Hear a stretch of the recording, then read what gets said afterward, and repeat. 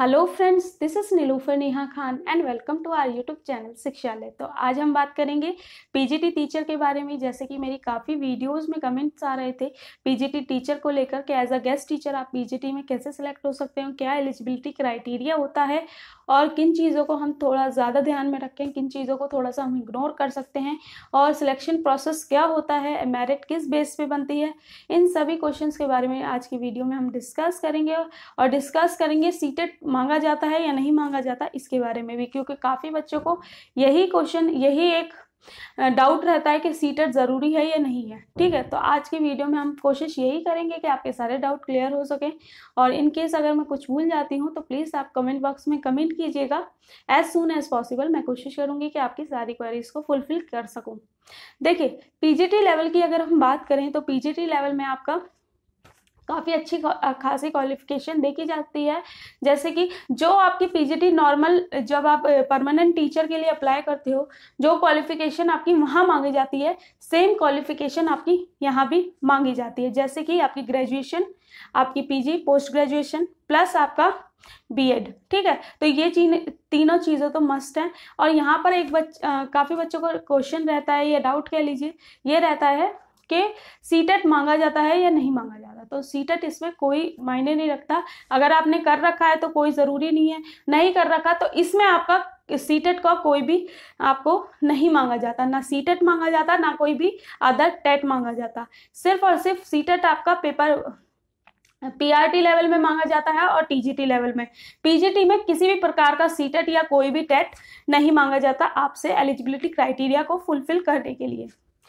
अब बात करें आपके सिलेक्शन प्रोसेस के बारे में। एस जैसे कि मैंने अपने टीजीटी वीडियो में भी बताया कि ऑनलाइन फॉर्म निकलते हैं और फॉर्म कौन कौन निकालता है आपका।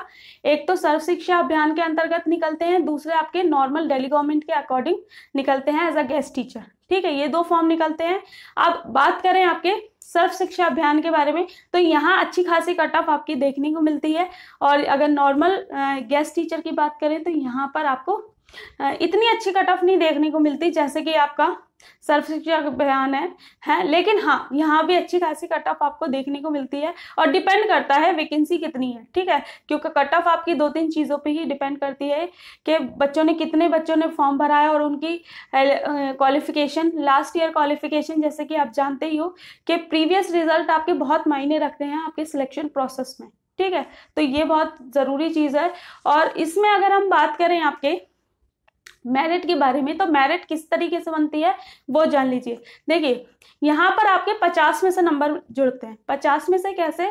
टेंथ ट्वेल्थ ग्रेजुएशन पीजी और आपका बीएड पाँच इन इन पाँचों सब्जेक्ट को आपको दस दस नंबर दे दिए जाते हैं। जैसे कि मैंने टीजीटी टीचर में भी बताया और पीआरटी में भी बताया।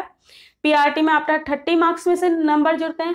यहीं टीजीटी में फोर्टी मार्क्स में से और यहीं अगर पीजीटी की बात करें पोस्ट ग्रेजुएट ग्रेजुएट टीचर के बारे में बात करें तो यहाँ आपके फिफ्टी में से मार्क्स जुड़ते हैं। अब फिफ्टी कैसे होते हैं?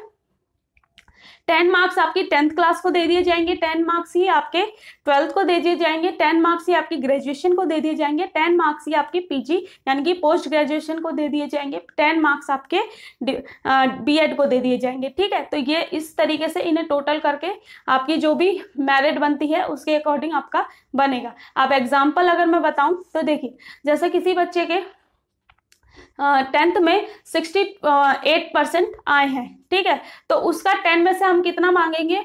मानेंगे सिक्सटी पॉइंट एट ठीक है? सिक्स पॉइंट एट सॉरी ठीक है? सिक्स पॉइंट एट हम इसे टेन में से मानेंगे। यहीं अगर ट्वेल्थ में सेवेंटी वन आए हैं सेवेंटी वन परसेंट आए हैं तो यहाँ पर हम क्या मानेंगे उसे? सेवन पॉइंट वन टेन में से। तो इस तरीके से आप फिफ्टी का कैलकुलेट करते हैं और कैलकुलेशन में जैसे अगर 40 से अवब या 40 40 के अराउंड आपकी कट ऑफ़ बैठती है तो बहुत चांसेस हो जाते हैं आपके सिलेक्ट होने के, ठीक है? जैसे कि आपको पता ही है यहाँ के सीटेट नहीं मांगा जाता, लेकिन आपकी जो लास्ट रिजल्ट्स रहे हैं, वो ज़्यादा वो बहुत मायने रखते हैं। तो अगर आपका इतना अच्छा रिज़ल्ट है तो आप एक एनालिसिस कर सकते हो और कोशिश कीजिएगा कि आपका सिलेक्शन हो ही जाए। क्योंकि यहाँ पर एक बहुत अच्छी अपॉर्चुनिटी मिलती है आपको as a guest teacher select होने के लिए। और अगर हम बात करें आपके, इतना हो जाता है आपका तो बात करें आपकी सैलरी के बारे में, जो कि सब बच्चों को मोटिवेट बहुत ज़्यादा करती है। तो सैलरी अगर हम बात करें तो जैसे कि आपकी 38 आपकी टीजीटी की मिलती है 36 और 37 अराउंड, आपकी पीआरटी लेवल को मिलती है। यहीं पर अगर हम पीजीटी लेवल की बात करें तो 40 के अराउंड आपको सैलरी देखने को मिलती है। ठीक है 40 अराउंड। लेकिन यहाँ पर ये जो फिक्स सैलरी है, ये सिर्फ़ और सिर्फ़ सर्व शिक्षा अभियान के अंतर्गत होगी। ठीक है, अगर हम बात करें आपकी नॉर्मल गेस्ट टीचर के बारे में। तो उन्हें पर डे के अकॉर्डिंग पैसे मिलते हैं। पर डे में जैसे कि अगर वो सैटरडे संडे उनका ऑफ़ है जैसे छुट्टी है तो उन्हें उस आ, उन दिनों के पैसे नहीं मिलेंगे। कोई फेस्टिवल आ गया तो उसका भी पैसे नहीं मिलेंगे। यानी कि जो भी आपके वर्किंग डेज़ होंगे सिर्फ़ उन्हीं के ही आपको पैसे दिए जाते हैं और पेमेंट करी जाती है। ठीक है? तो अगर हम बात करें आपके नॉर्मल गेस्ट टीचर के बारे में तो नॉर्मल गेस्ट टीचर जो लगते हैं, उनका पर डे में आपका fourteen hundred fourteen hundred fifty rupees उन्हें मिलते हैं। चौदह सौ पचास उन्हें पर डे मिलता है। यहीं पर अगर टीजीटी वालों की बात करें तो टीजी को टीजीटी लेवल पे चौदह सौ मिलते हैं, यहाँ पर बस पचास रुपए एक्स्ट्रा मिलते हैं पीजीटी वालों को लिए। ठीक है? और बात करें आपके सर्व शिक्षा अभियान के अंतर्गत तो उनकी एक फिक्स सैलरी होती है, उन्हें किसी भी किसी भी उनकी छुट्टी का पैसे नहीं काटे जाते। तो ये इनके लिए एक अच्छी बात कह लीजिए या फिर कह लीजिए, एक अच्छी चीज़ है।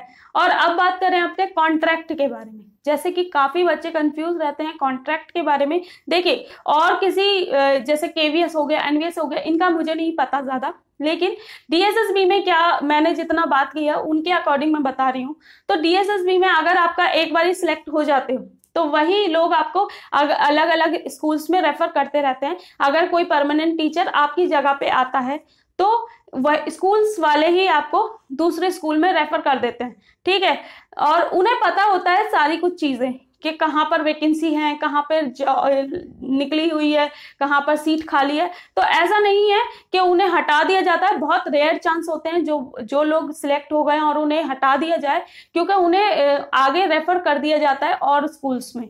ठीक है? तो बहुत अच्छी अपॉर्चुनिटी है। जैसे कि आप जानते हैं सीटेट भी नहीं मांगा जाता। वैसे सीटेट इसमें ज़रूरी भी कहाँ, क्योंकि सीटेट आपका सिर्फ़ एट्थ तक के लिए ही वैलिड होता है टीजीटी के लिए वैलिड होता है और आपका पीजीटी के लिए अभी तक कोई भी टेट या फिर कोई भी सीटेट ऐसा नहीं आया है तो बहुत अच्छी अपॉर्चुनिटी है आप लोगों के लिए कि अगर आप चाहें तो एज अ गेस्ट टीचर आप सिलेक्ट हो सकते हो दिल्ली में और अच्छा खासा पेमेंट आप ले सकते हो फोर्टी थाउज़ेंड कोई कम नहीं होते। अगर आप देखें तो ठीक है? तो यहाँ पर ये वीडियो हमारी ख़त्म होती है। अगर आपको वीडियो अच्छी लगी हो तो प्लीज़ लाइक एंड शेयर कीजिएगा और चैनल को सब्सक्राइब कीजिएगा। ऐसी यूजफुल वीडियोस और इन्फॉर्मेशन मैं आपके लिए लाती रहती हूँ। तो प्लीज़ चैनल से जुड़े रहें चैनल के साथ बने रहें। Thank you for watching